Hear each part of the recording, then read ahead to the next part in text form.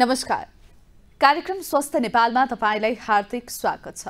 म कार्यक्रम प्रस्तुता रिम्सा सलाकार कार्यक्रम स्वस्थ नेपालमा हामी स्वास्थ्यसँग सरोकार राख्ने विषयमा केन्द्रित रहन्छौँ। अहिलेको समयमा मानिसहरूले भोग्न परेका शारीरिक मात्र नभई मानसिक र समग्र स्वास्थ्यका बारेमा पनि चर्चा गर्नेछौँ। आजको अङ्कमा हामी डेङ्गु सङ्क्रमण फैलिरहेको बेला जापानिज इन्सेफलाइटिस अर्थात् जेईको सङ्क्रमणले निम्तिएको चुनौती जापानिज इन्सेफलाइटिस रोगको जोखिम लक्षणहरू के के हुन्? यो रोगबाट कसरी जोगिन सकिन्छ भन्ने लगायतका विषयमा विस्तृत रूपमा चर्चा गर्नेछौँ। जापानिज इन्सेफलाइटिस अर्थात् मस्तिष्क ज्वरो हाल अस्वाभाविक तर घातक रूपमा भाइरसले कमब्याक गरेको छ। मेडिकल साइन्सले सन् अठार सय एकहत्तरमा पहिलो पटक जापानमा डकुमेन्ट गरेको उक्त रोग एसियाभरि नै व्याप्त छ।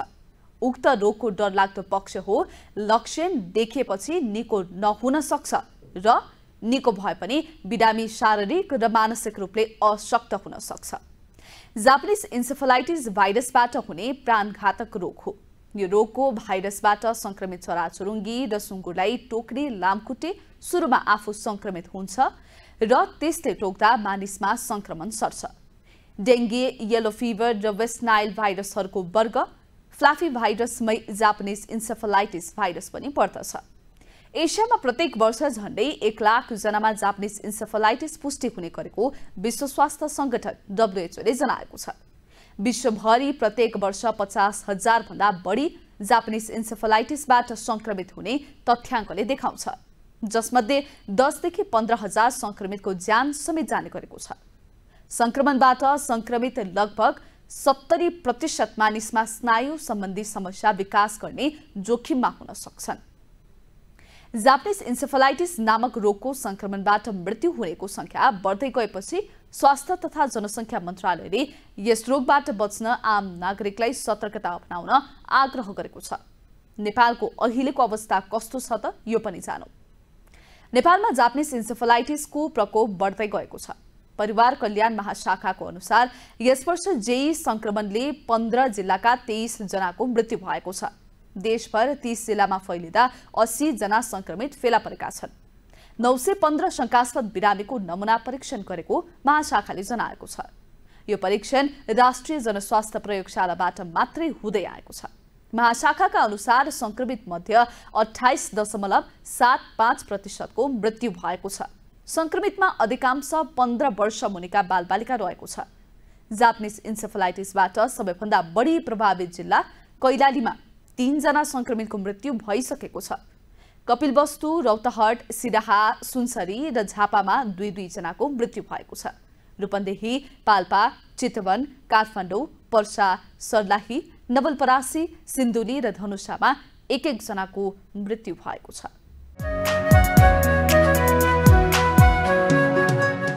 काठमाडौँ उपत्यका बाहिर मात्र फैलिरहेको जेई काठमाडौँमा फैलिने अवस्था छ कि छैन?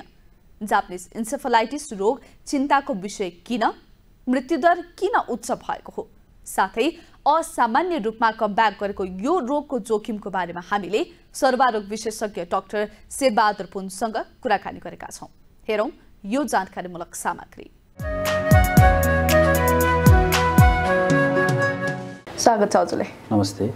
अब हामी यो जापानिज इन्सेफलाइटिसको अहिले कुरा भइरहेको छ होइन? हामी जताततै न्युजमा अथवा हामी देख्न सक्छौँ कि मृत्यु पनि भइरहेको छ जापानिज इन्सेफलाइटिसले गर्दाखेरि। अब यो यसले कमब्याक गरेको हो कि अथवा यसलाई के भन्न सकिन्छ? अहिलेको अवस्था चाहिँ के छ नेपालको?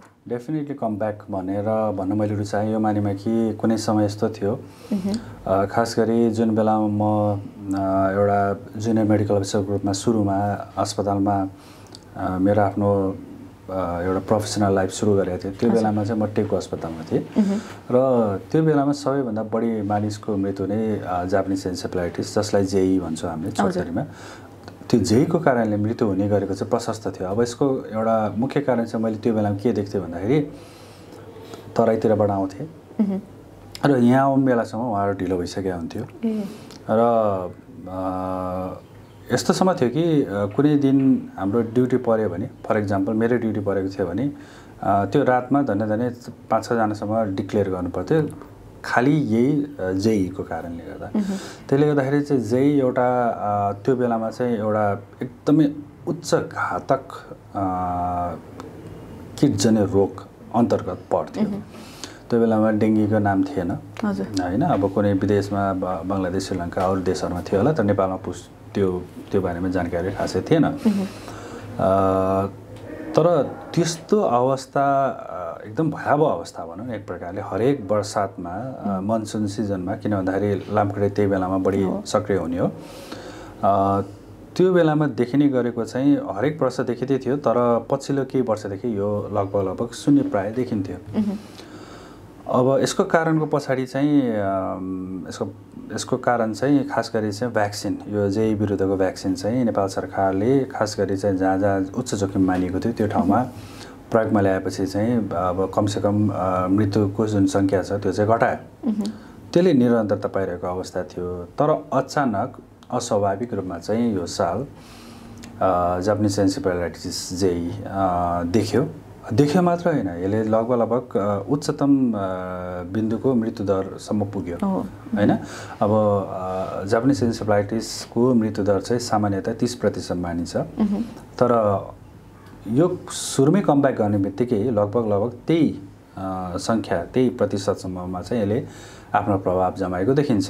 त्यसले गर्दाखेरिबाट पनि यो जापानिज एन्सेफलाइटिस कमब्याक त गर्यो तर सामान्य रूपमा होइन कि अस्वाभाविक रूपमा र हामीले हेर्दाखेरि चाहिँ यो एउटा एकदमै उच्च घातक को रूपमा लियो। अझ यसरी भनौँ कि किटजन्य रोग अन्तर्गत त अब डेङ्गी पनि छ स्क्रब टाइफस पनि छ तर यी मध्येहरूमा चाहिँ त्यति चर्चा बहसमा नआएको तर तपाईँले त्यसलाई हेर्नुभयो भने त्यसको मृत्युदर चाहिँ एकदमै उच्च छ। अरू रोगहरूभन्दा। अरू रोगको तुलनामा।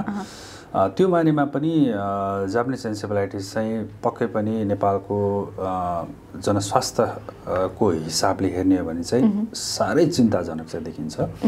अब यसको कारण आवश्यक छ खोतल्न। र त्यो त्यो कारण पत्ता लगाएर त्यसलाई सम्बोधन गर्नलाई चाहिँ हामीले। ढिलाइ गऱ्यो भने पनि अर्को वर्ष पनि हामीले फेरि यस्तै समस्याहरूको सामना नगर्नु पर्ला भन्न चाहिँ सकिँदैन।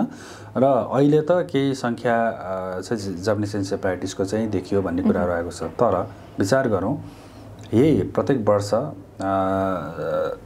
सङ्क्रमितको सङ्ख्या बढ्दै बढ्दै गयो भने त्यसकै आधारमा हेर्ने हो भने त्यो मृत्यु दर पनि बढ्दै जाने हुनसक्छ। प्रतिशतको हिसाबमा अ, मानौँ सयजना सङ्क्रमितमा तिसजनाको मृत्यु भयो भने अब हजार त्यसमा अरू दुईवटा जिरो थप्यो भने त यता पनि दुईवटा जिरो थप्यो भनेपछि यो अवस्था सिर्जना हुनुभन्दा अगाडि नै हामीले एक्सनमा जानुपर्छ भन्ने हो। तर एक्सनमा जानुभन्दा अगाडि यो कारण के थियो। भन्ने पत्ता लाग्न चाहिँ अति जरुरी छ भन्ने चाहिँ मलाई लाग्दछ। जस्तो अब यो डेङ्गुको प्रकोप पनि नै छ फैलिरहेको अहिलेको अवस्थामा पनि छ होइन? र यो डेङ्गुको प्रकोप फैलिरहँदाखेरि जेईले फेरि अर्को आतङ्क मचाउँदाखेरि चाहिँ जोखिम चाहिँ कति देख्न सक्छ हामी?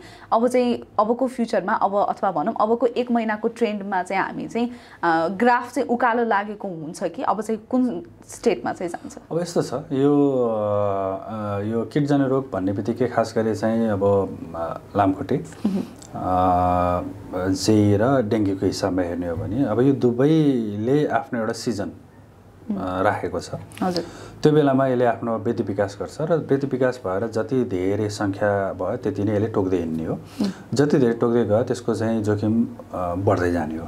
त्यो मानेमा चाहिँ अब अहिलेको यो सालको लागि त सम्भवतः केही हदसम्म शान्त होला अब किन भन्दा जाडो महिना पनि सुरु भयो। तर यो जाडो महिना सकि लगतै जब गर्मी आउँछ र यदि कुनै पनि समयमा बेमौसमी पानी मात्र पर्यो भने पनि त्यहाँबाट लामखुट्टे सल बनाउनु सुरु हुन्छ। अब रहन्छ त्यसपछि फेरि यसको चाहिँ साइकल सुरु भयो। र डर के छ भन्दाखेरि चाहिँ अहिले केही सीमित सङ्ख्यामा सङ्क्रमित गरेको र मृत्यु भएको जुन सङ्ख्या छ त्यो कतै फेरि थपेर फैलिएर नजाओस् भन्ने चाहिँ मेरो चाहना हो। त्यो अवस्था सिर्जना नहुनको लागि चाहिँ हामीले अहिलेदेखि नै एक प्रकारको रणनीति के कहाँनिर चुक्या हो हामी भन्ने कुरा चाहिँ जान्नु एकदम जरुरी छ जस्तो चाहिँ मलाई लाग्दछ। र त्यसैको आधारमा चाहिँ हामीले यदि केही गरी समयमै यस्तो एउटा भनौँ न योजनाहरू बनाउन सकिएन भने चाहिँ त्यो हाम्रो लागि चाहिँ विडम्बनापूर्ण हुन्छ। चुनौतीपूर्ण यो किटजन्य रोग अन्तर्गत यो जेई अझ डेङ्गीभन्दा पनि सशक्त रूपमा अगाडि चाहिँ मृत्यु गराउनेको एउटा कारक किटजन्य रोग अन्तर्गत पर्न नपर्ला भन्न चाहिँ सकिँदैन। एउटा फाइदा के छ भन्दा यो विरुद्धको खोप छ होइन? डेङ्गीको चाहिँ छैन भनौँ एक प्रकारले अथवा नेपालमा छैन कम्तीमा पनि। तर यो फाइदाको एउटा भनौँ न उपलब्धता भनौँ या जे भनौँ त्यसको चाहिँ अब हामीले लिनुपर्छ जस्तो चाहिँ मलाई लाग्दछ। जुन एउटा अवस्था कुनै समय भयावह थियो त्यसलाई चाहिँ हामीले भनौँ एक प्रकारले जेहीबाट मृत्यु हुनलाई जुन जुन तरिकाले हामीले चाहिँ एउटा रोकेर राखेको थियौँ त्यो अवस्था चाहिँ फेरि हामीले कोसिस गर्ने पर्ने हुन्छ। त्यसको लागि चाहिँ अहिलेदेखि नै हामी लाग्नुपर्छ भन्ने चाहिँ मलाई लाग्दछ। अब नेपाल बाहिरको पनि कुरा गरौँ होइन ट्रेन्ड चाहिँ कस्तो देखिन्छ? एसियामा साउथ साउथ इस्ट एसिया र सँगसँगै ग्लोबल हेर्दाखेरि चाहिँ जापानिज इन्सेफलाइटिसको सङ्क्रमण दर चाहिँ कस्तो रहेको छ? होइन यो त अब विश्वभरि नै होइन अब हजारौँ मान्छेहरू सङ्क्रमित हुन्छन्। डब्लुएचओले हरेक वर्ष यसको तथ्याङ्क पनि प्रकाशित गर्छ। यसले यो अवस्था हेर्दाखेरि त भयावह नै छ भन्ने बुझिन्छ। तर फाइदा के छ? फेरि पनि मैले भनिहालेँ यो विरुद्धको खोप एकदम राम्रो खोप भएको हुनाले चाहिँ अब धेरै जस्तो देशहरूमा अब एक प्रकारले ट्रपिकल एरियामै पर्ने गर्मी ठाउँ जस्तो सिङ्गापुर होला अथवा चाइनाको विभिन्न ठाउँहरू होला फिलिपिन्स लगायत अब विभिन्न देशहरू छन् जो विकसित देश छन् उनीहरूले चाहिँ अब खोपको चाहिँ प्रयोग अथवा सहायता लिएर जेईलाई चाहिँ अब नियन्त्रण गरेछ भन्दा फरक नपर्ला।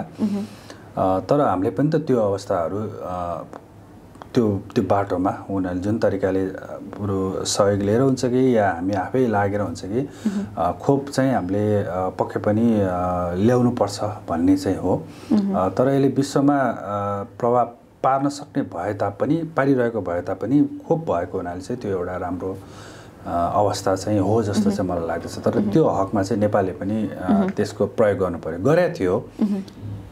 आई डोन्ट नो यो वर्ष किन कमब्याक गर्यो? किन रिमर्ज भएर फेरि फर्केर आयो। यो चाहिँ एकदम जान्न जरुरी छ र यसको लागि चाहिँ भोलि पर्सि होइन आजैबाट यसको गृह कार्य गृह कार्य गर्न एकदम जरुरी छ जस्तो मलाई लाग्दछ र यदि केही गरी हामीले खोपलाई समयमै ल्याउन सक्यो र समयमै दिन सक्यो भने भने फेरि पनि हामीले एक प्रकारले जेही विरुद्धको जुन लडाइँ छ त्यो त्यो त्यो चाहिँ एउटा सफलताको सफलताको भनौँ एक प्रकारले पथतिर चाहिँ हामी जान सक्छौँ जस्तो मलाई लाग्दछ। यो रोगको इतिहास कस्तो रहेको छ? यो पनि जानौँ। नेपालमा जापानिज इन्सेफलाइटिसको मृत्युदर बढेर अठाइस प्रतिशत पुगेको छ। खोप अभियानले रोग नियन्त्रणमा रहेको भने पनि पछिल्लो समय मृत्युदर बढ्दा स्वास्थ्य विज्ञहरू चिन्तित छन्।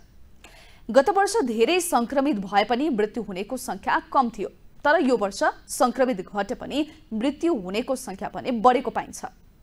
सन् उन्नाइस सय अठहत्तरमा पहिलो पटक नेपालमा पुष्टि भएको जापानिज इन्सेफलाइटिस मुख्यतया तराई र भित्र मधेसमा बढी देखिन्छ। सन् उन्नाइस सय अन्ठानब्बेदेखि दुई हजार आठसम्म नेपालमा एघार हजार पाँच सय एकानब्बे बिरामी पाइएको स्वास्थ्य सेवा विभागको एउटा तथ्याङ्कले देखाउँछ। कतिपय संस्थाहरूले नेपालमा विगतको समयमा सबै जापानिज इन्सेफलाइटिसका संक्रमण अभिलेखमा नरहने गरेको बताउने गर्छन्।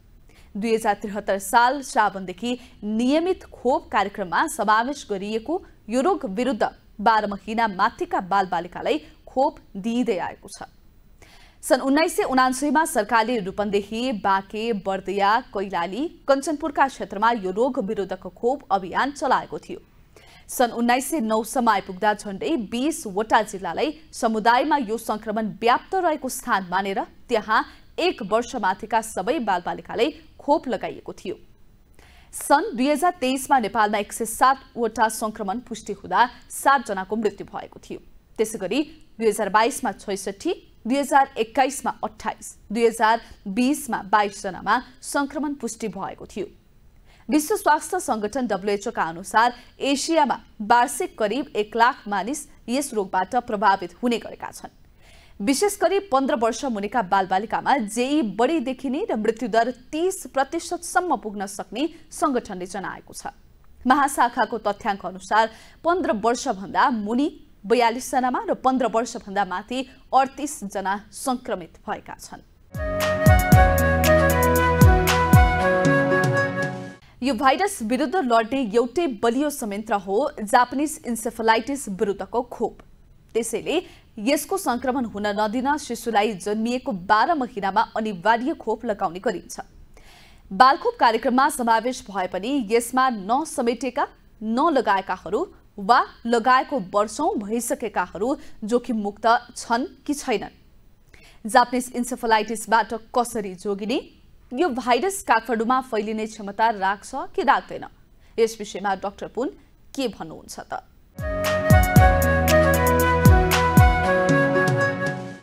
तराईमा प्राय फैलिएको छ यो जे अहिलेको सिचुएसनमा हेर्दाखेरि चाहिँ काठमाडौँ सेन्टर भएर चाहिँ फैलिने जोखिम छ कि छैन त उसो भए? जोखिम छ नि किन नहुने? अब यसमा तपाईँको यदि अनुसन्धानहरू हेर्ने हो भने पहाडी इलाकामा पनि जेही भेटेको केसहरू छ। त्यसले गर्दाखेरि चाहिँ अब हेर्दाखेरि अहिले चाहिँ अब तराईमा बढी अलिकति भनौँ सीमित भए जस्तो देखिहाल्छ होइन। तर यस्तै खालको सिनारी पहिला कुनै समयमा डेङ्गुमा पनि थियो। तराईतिर देखिन्थ्यो। अहिले हेर्नुहोस् पहाड हुँदा हुँदा अब हिमाली हिमाली एरियामा। पनि पुग्यो भन्ने कुरा आउँछ।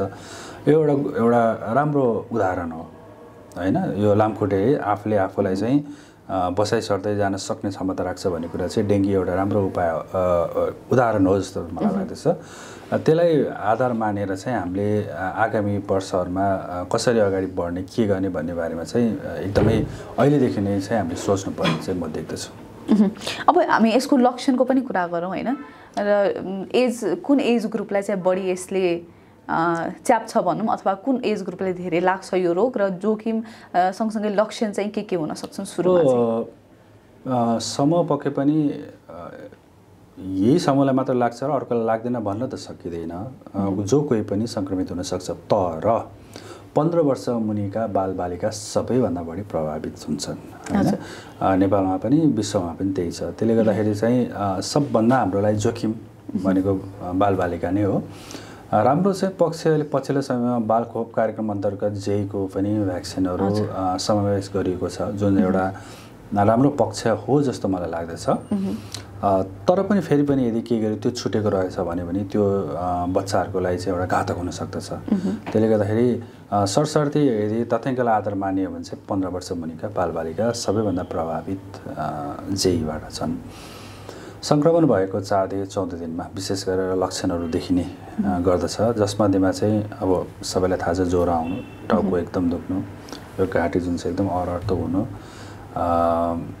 यो एक प्रकारले झट्का हान्ने भन्छ होइन सिजर होइन त्यो टाइपको हुनु बेहोसै हुने होइन। र यसको समस्या के छ भन्दाखेरि चाहिँ मृत्युदर त यसै बढी छँदैछ तिस प्रतिशत। त्यो जेईबाट बचेर आएका मध्येमा पनि तिसदेखि पचास प्रतिशतलाई पर्मानेन्टली स्थायी रूपमा नै उसको नसासँग सम्बन्धित समस्याले छोड्नेवाला छैन।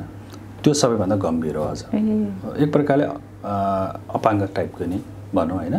त्यो हुने भएको हुनाले चाहिँ यो लाग्नै नदिन चाहिँ हामीले एकदमै यो कोसिस गर्नुपर्छ भन्ने कुरा हो। खास गरी खोपकै कुरा गरेँ तर त्यो बाहेक त अब लामखुट्टेको नियन्त्रणको कुरा पनि आफ्नो पाटोमा छँदैछ।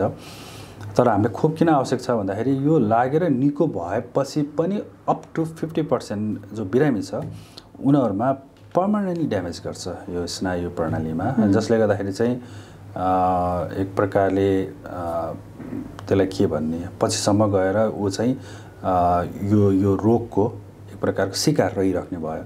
यसले गर्दाखेरि चाहिँ उसको बौद्धिकतामादेखि लिएर होइन विभिन्न उसको शरीरको स्वास्थ्यमा चाहिँ असर पर्दै जाने भयो। र यो पनि मेरो विचारमा राज्यको लागि एउटा ठुलो भार हो भन्ने मलाई लाग्दछ। परिवारमा त हो नै हो। यो बाहेक राज्यको लागि पनि एउटा ठुलो भार पर्न सक्छ। त्यसले गर्दाखेरि जापानिज एन्सेफलाइटिस आफैमा हेर्दाखेरि त्यस्तो त एकदमै जताततै फैलेको एकदम त्यस्तो अवस्था अहिले देखा त छैन। तर पछि कस्तो अवस्था आउँछ नआउला भन्ने कुनै त्यस्तो आधार छैन। र सबैभन्दा महत्त्वपूर्ण भनेको यसको लक्षण नै साह्रै कडा लक्षण। मृत्यु देशै पार्ने नै भयो। तर बच्यो है ल अब उहाँ बच्यो भन्दै गर्दाखेरि पनि यो बौद्धिक अपाङ्गतादेखि लिएर विभिन्न जुन स्नायु प्रणालीमा जुन समस्याहरू आउँछ यसले पनि थप जिन्दगीभर चाहिँ दुःख दिन सक्छ। यो चाहिँ महत्त्वपूर्ण पार्ट हो जस्तो लाग्छ मलाई। जस्तो अब एकचोटि लागिसकेको मान्छेलाई चाहिँ दोस्रो पटक लाग्ने चान्स हुन्छ कि? हुँदैन त। अब त्यस्तो चाहिँ अब दोस्रो पटक तेस्रो पटक लागेको भन्ने चाहिँ खास पढ्न त पाउँदैनौँ। तर एकपटक नै काफी छ होइन? अब हुनसक्छ त्यसको एन्टिबडी लङ टर्म काम गरेको पनि हुनसक्छ। डेङ्गुमा जस्तो चाहिँ होइन यसको तिन चारवटा सेरो टाइप चारवटा सेरो टाइप छ एउटा नभए अर्कोले दुःख दिन्छ भन्ने भने यसमा चाहिँ त्यस्तो छैन। तर एकपटक लाग्नु नै उसको लागि जीवन मरण बराबरकै हुन्छ। त्यसले गर्दाखेरि चाहिँ हामीले त्यो लाग्नै नदिनुको लागि लामखुट्टे नियन्त्रणको पक्ष आफ्नो ठाउँमा छुट्टै छँदैछ। तर त्योभन्दा राम्रो त हामीसँग एकदम प्रशस्त भ्याक्सिन छ नि त होइन? त्यो न त्यो छ हामीले प्रयोग गरेर सफलता पनि पाएको हो नि त। त्यस त्यो किन त्यसलाई चाहिँ किन निरन्तरता नदिने भन्ने चाहिँ मेरो मेरो बुझाइ चाहिँ त्यो यो जेको भ्याक्सिनहरू लाउने दर चाहिँ राम्रो छ कि छैन त त्यसो भए हेर्दा? अब हेर्नुहोस् दर राम्रो थियो त अस्ति भर्खर किन त्यति मान्छे मर्थ्यो होला र होइन? सम्भवतः लगाएको थियो होला। कुनै समयमा वात त अब बिरामी थियो। मैले अघि पनि भने दुई दशकभन्दा अगाडि म जुन बेलामा एउटा जुनियर मेडिकल अफिसरको रूपमा त्यत्रो दैनिक मैले मात्र दैनिक आधा दर्जनको हाराहारी मृत्यु भएको बिरामी देख्थेँ भने त्यसलाई त कमसेकम त घटाएको त हो नि। तर त्यो त त्यो क्षमता त रहेछ नि त होइन? तर किन यो पल्ट चाहिँ एक प्रकारले अनयुजली चाहिँ बढ्यो र मानिसको मृत्यु भयो भन्ने कुरा चाहिँ मैले फेरि पनि भने अध्ययनको विषय हो। हामीले विश्लेषण गर्नुपर्ने पाटो छँदैछ र विश्लेषणको आधारमा हामीले यो खालको भुल चाहिँ अथवा कमी कमजोरी के छ होइन त्यो चाहिँ गर्नु भएन भन्ने चाहिँ मेरो भनाइ हो खास। भनेपछि हामी विश्लेषण र बहसमा चुकेकै हो त? यस्तो पनि भयो होला। अब गर्नु त पर्छ नै विश्लेषण बहस त आवश्यक छ किन वाइ यसरी मान्छे मृत्यु भइरहेको थिएन तर अचानक किन मृत्यु भयो? कि त भन्नु पऱ्यो भ्याक्सिनले काम गरेन। होइन भाइरसमा केही म्युटेसन परिवर्तन आएर प्रभावकारी रूपमा काम नगरे हो कि। होइन? वा ल अब सकिहाल्यो अस्तिसम्म थियो अहिले त बन्द भइहाल्यो किन लाउनु पऱ्यो भनेर नलागेको हो कि? वा जहाँ जोखिम क्षेत्र छ त्यो ठाउँमा चाहिँ भ्याक्सिन नपुग्या हो त? यी प्रश्नहरूलाई एकपछि अर्को खोदल्दै गएर विश्लेषण गर्दै गर्नुपर्ने एकदम जरुरी छ भन्ने चाहिँ मलाई लाग्दछ। सम्भवतः त्यो त्यसमा चाहिँ हामीले अब अबको आगामी दिनहरूमा चाहिँ होमवर्क गर्नै पर्छ जस्तो चाहिँ मलाई लाग्दछ। अब यो हामी खोपकै कुरा गरिरहँदाखेरि जस्तै पन्ध्र वर्ष मुनिको बालबालिकालाई खोप दिइन्छ। दिन्छ होइन? र पन्ध्र वर्षभन्दा माथिकोलाई लाग्यो भने चाहिँ उसलाई अल्टरनेटिभ वेमा खोप त्यो दिन मिल्छ कि मिल्दैन त? होइन खोप त लाउनु मिल्छ नि। मलाई सम्झना छ हाम्रै स्टाफमा कतिजनाले पहिला केही वर्ष अगाडि कोभिडभन्दा अगाडि लगाएको मलाई याद छ। लाउनु नमिल्ने भन्ने होइन लाउनु मिल्छ। जुनै पनि एज ग्रुपले लाउन पाइयो? लाउनु त मिल्छ। लाउनु मिल्छ नमिल्ने होइन। तर विशेष गरेर चाहिँ अब तथ्याङ्कलाई आधार मान्यो भने पन्ध्र वर्ष मुनिका बालबालिका बढी प्रभावित भएको देखिन्छ। त्यो मानेमा चाहिँ अब मेरो बुझाइमा सायद मैले बुझेअनुसार चाहिँ जे चाहिँ बालको काम कार्यक्रम अन्तर्गतै छ जस्तो लाग्छ मलाई। हो। त्यो कारणले गर्दा त्यो एउटा राम्रो पाटो तर किन मिस भयो? अहिले किन यो देखियो भन्ने कुरा चाहिँ एउटा अलिकति मैले भनिहालेँ यो अध्ययन बहसको विश्लेषणको विषय हुनुपर्छ भन्ने चाहिँ मलाई लागेको कारण थियो। सबसे मेन यसको प्रिभेन्सन भनेको खोपमै लाग्नु पर्यो हामी। सबभन्दा राम्रो। किन भन्दाखेरि यसले यो प्रमाणित पनि गरिसकेका छ। हामीले कुनै अब खोपी नलगाएर होइन अनुमानको आधारमा यो गरेन हुन्छ अरे भन्नु पनि जरुरी छैन कि? हामीले गरिसके अब। र लगभग शून्यमा झारेको पनि हो। त्यसो हो भने भने त हामीले गर्न सक्दो रहेछ नि त। त्यसले गर्दाखेरि चाहिँ यो भ्याक्सिनको जुन पाटो छ यो चाहिँ हामीले सम्बन्धित निकायले ठाउँ ठाउँमा चाहिँ अब विशेष गरेर जहाँ जोखिम छ जोखिमसम्म जोखिम उमेरसम्म के छ अब त्यो सबै कुरा हेरेर चाहिँ उहाँहरूले अ, पुर्याइदिन पायो भने चाहिँ यो दोहोरी जुन दोहोरियो यो सन् दुई हजार चौबिसमा त्यो त्यो सम्भावना चाहिँ मैले धेरै कम देख्छु अब रोकथामको पाटोमा चाहिँ के के गर्न सकिन्छ त अब यसलाई हुन नदिनको लागि? रोकथामको पाटोमा त दुईवटा मुख्य हो। दुईवटामा एउटा त लामखुट्टेकै नियन्त्रणतिर जानुपर्ने हुन्छ। जुन चाहिँ अब डेङ्गुको बारेमा कति कराइयो होला कति भनियो होला कतै केही सुनवाई भएको छैन दुर्भाग्यवश दुर्भाग्यवश तर यसको अर्को एउटा पाटो पनि छ जो जसलाई चाहिँ हामीले भ्याक्सिन दिने होइन भन्छौँ। यदि हामीले त्यो नसकेर यदि भ्याक्सिनलाई मात्र पनि हामीले विशेष केन्द्रित भएर चाहिँ अगाडि बढ्न सक्यो भने हामीले यो जेईबाट चाहिँ धेरै हदसम्म बचाउन सकिन्छ मानिसहरूलाई हस् धेरै धन्यवाद। हस् धन्यवाद।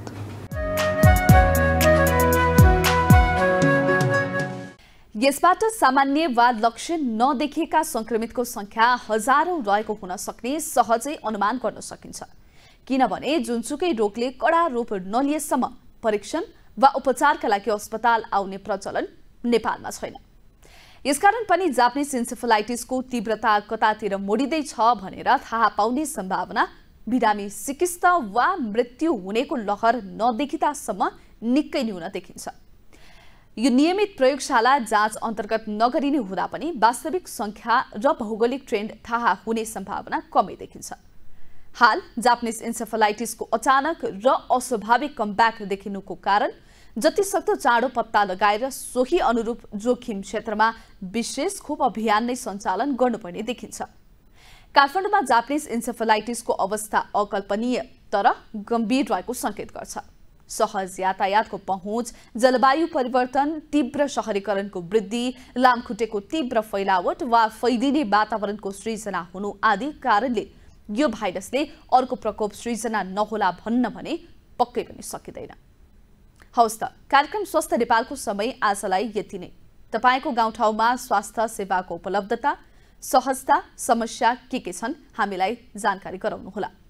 तल स्क्रिनमा दिएको नम्बरमा हामीलाई सम्पर्क गर्न सक्नुहुनेछ। स्वास्थ्य सम्बन्धी जनमानसको चासोमाथि विज्ञहरूको सुझाव सहित अर्को अङ्कमा हामी नयाँ विषयका साथ उपस्थित हुने नै छौँ। त्यतिन्जेलसम्मका लागि म कार्यक्रम प्रस्तुता रिम्सा सिलाका सहित सम्पूर्ण टिमलाई पनि बिदा दिनुहोस्। स्पेस फोर टेलिभिजन हेर्दै गर्नुहोला। स्वस्थ रहनुहोस् व्यस्त रहनुहोस्। नमस्कार।